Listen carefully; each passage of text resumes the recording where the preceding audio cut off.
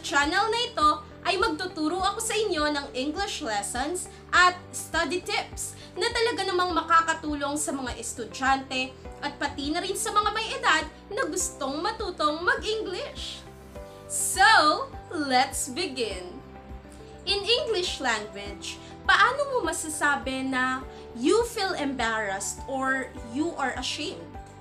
Kasi kapag tinanong ka ng isang tao na anong Tagalog ng embarrassed at ang isasagot mo ay napahiya, tapos tatanungin ka rin ng iba na ano naman ang Tagalog ng ashamed at ang isasagot mo pa rin ay napahiya. So ano ang pinagkaiba ng dalawang ito? Tapusin mo ang video na ito upang hindi ka numalito. Ang totoo niyan, ang dalawang salitang ito ay halos magkapareho lang, pero magkaiba sila sa ilang sitwasyon. In fact, pareho silang adjective or dinedescribe yung feeling ng isang tao. Kasi kapag sinabi nating embarrassed, nakakaramdam ka ng hiya. At pag sinabi nating ashamed, nakakaramdam ka rin ng hiya. So dumako na tayo sa pinagkaiba ng dalawang salitang ito. Magsimula tayo sa embarrassed. Kapag sinabi nating embarrassed, ito yung nararamdaman mong klase ng hiya kapag pakiramdam mo yung ibang tao may napapansin sa'yo or sa itsura mo na kakaiba. Okay? When you feel uncomfortable. Okay? Siguro sa itsura mo, sa pan- panlabas mong anyo, sa pananamit mo. So, halimbawa, ah, kapag ikaw ay may kausap na tao or kapag nakikipagkainan ka, no? Tapos, may napansin mo na yung ngipin mo ay may sumabit na konting na konting dumi, no? Tas pakiramdam mo, pakiramdam mo tinitingnan yun ng ibang tao na kasama mo. So you feel uncomfortable. You feel embarrassed, no? Nahihiya ka kasi pakiramdam mo may something strange sa itsura mo. So, another example. When you are not dressed appropriately for a party. So, halimbawa, sa isang party na pupuntahan mo, yung party pala na yun, ang theme ay dapat naka-formal attire, no? Pero, ikaw, nagpunta ka ng nakapantulog. So, akala mo pajama party yung pupuntahan mo. So, ikaw lang yung naiiba. So, you feel embarrassed, you feel uncomfortable kasi ikaw lang yung nakapajam. Tapos, yung napuntahan mong party, yung mga taong dumalo doon, mga nakagown, no? Mga nakasuit. Tapos, ikaw lang yung nakapajama. Kasi akala mo, pajama party. So, again, when you feel embarrassed, it means that you feel uncomfortable kasi may kakaiba sa'yo.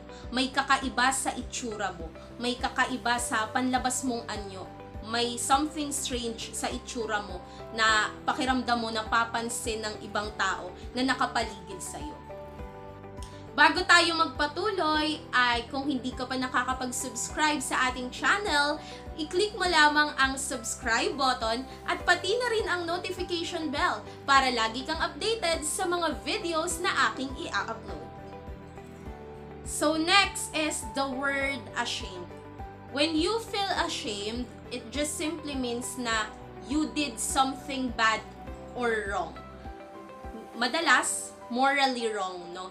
Tapos, later on, parang pinagsisisihan mo bakit mo nagawa yun. Ashamed, okay? You feel ashamed. Nahihiya ka sa sarili mo, nahihiya ka sa ibang tao, bakit mo ginawa sa kanila yun. Nagsisi ka. So, for example, you yelled at your kids for no reason. So, halimbawa, yung magulang, yung isang magulang ay naibaling niya yung kanyang galit sa mga anak niya. Walang rason eh. Pagod lang siya sa maghapong pagtatrabaho, for example.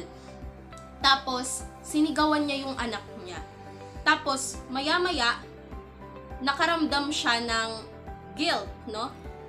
Na parang napahiya siya sa sarili niya na bakit ko ba ginawa yun sa anak ko, no?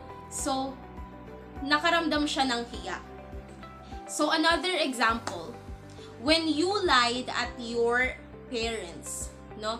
So, kapag nagsinungaling ka sa magulang mo, then later on, uh, you feel ashamed.